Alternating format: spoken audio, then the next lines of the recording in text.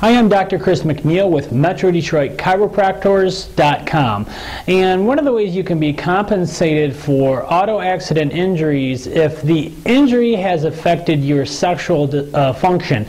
So, meaning if uh, you're not able to have uh, sexual contact as much as before, or if it's painful to have sexual contact, um, those are some ways that you can be compensated from auto accident injuries. And if you have been injured in an auto accident, we love to help you out. Give us a call, 586 566 2273, or visit MetroDetroitChiropractors.com for a location near you.